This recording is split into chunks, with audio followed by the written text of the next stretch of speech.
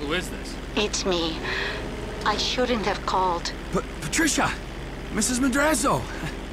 Hey! Are you behaving, Trevor? Oh, yeah. Yeah, sure.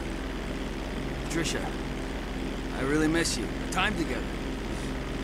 Very important. I have to go.